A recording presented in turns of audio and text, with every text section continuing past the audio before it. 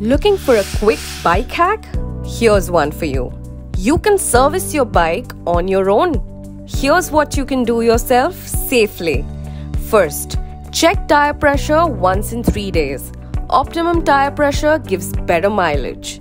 Second, check the engine oil regularly. Top up whenever needed.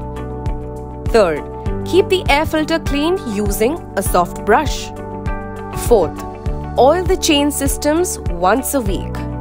And fifth, clean the bike regularly. The dust particles can hinder with its performance. And for more such information, stay tuned with BeepKart.